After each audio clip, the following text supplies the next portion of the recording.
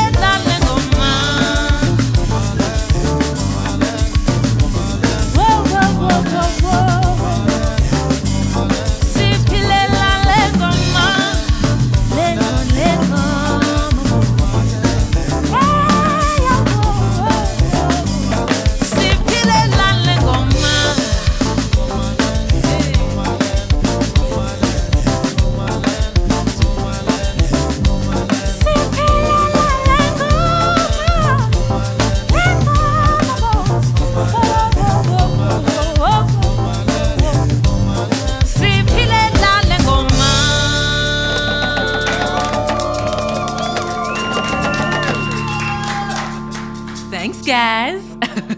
Please give it up for Banda Banda on bass and Kurt Petrus on keys.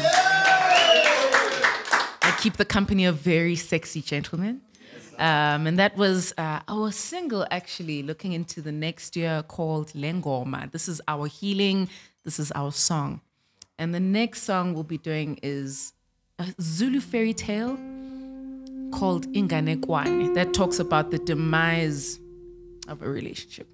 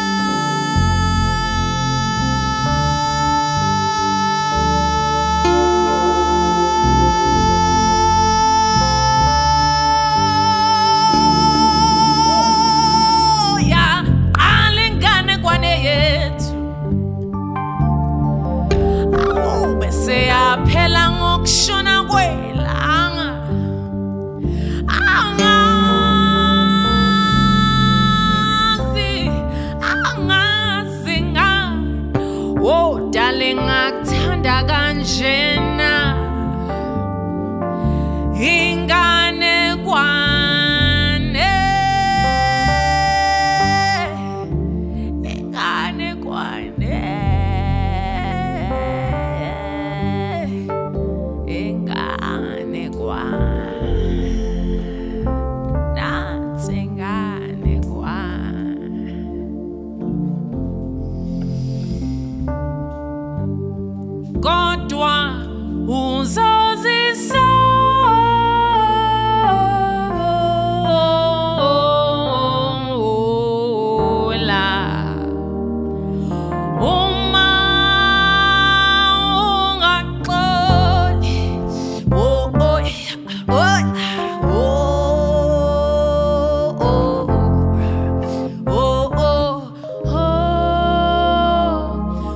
goes on.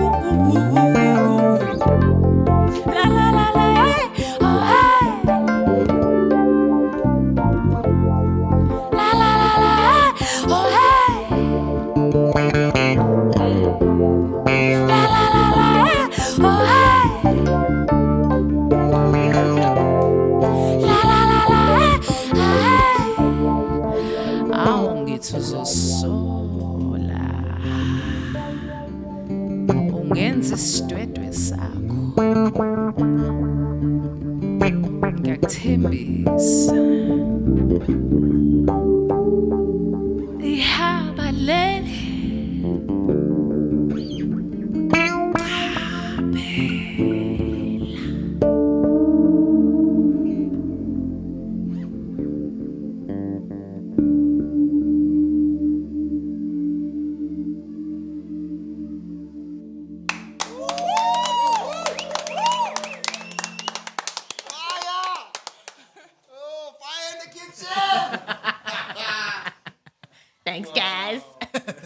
so, so that song you said was about? Um, so this song is called Inganekwane, and it's based on the idea of a Zulu fairy tale. So we're playing around with folklore because Inganekwane, when you tell it, you say kwasuga sugela, which means once upon a time. And the audience that listens receives it as tos tos.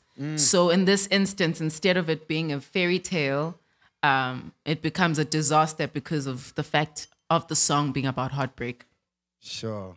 Wow. Well, dude, listen, I just want to say that you are incredible.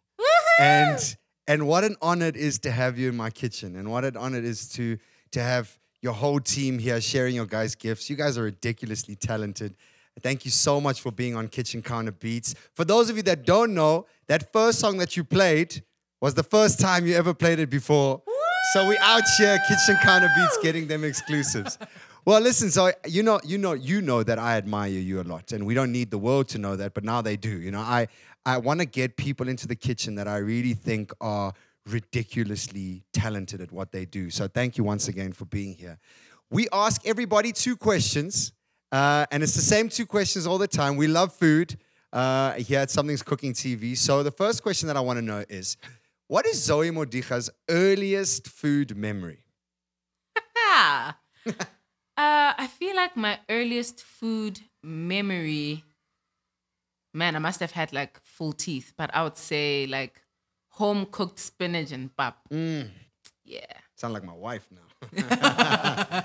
okay, Yeah, spinach and pap. I dig. I dig pap. I've never been a fan of spinach, but anyway. Uh, second question is an interesting one. It's based on a show that we're writing at the moment called Celebrity Sandwich. So I'm going to give you the opportunity to tell us what would a Zoe Modiga sandwich look like. Um, you know what? I want to actually ask some of my band members to help me put the sandwich together. So I would say rye bread, right? Put some margarine in there. Yes. and I'll start I'll start off with like um what do you call that? Lettuce. Yes. Uh give me an ingredient. Cold meat. Cold meats. And I think me, if it was for me, I would just choose something else. like what? The sandwich for me would have a jam.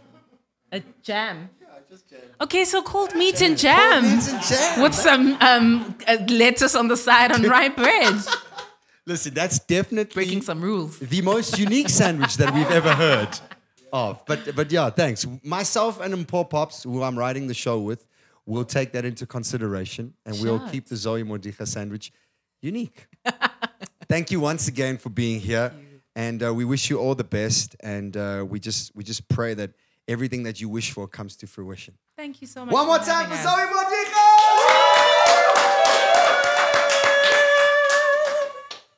Modiga!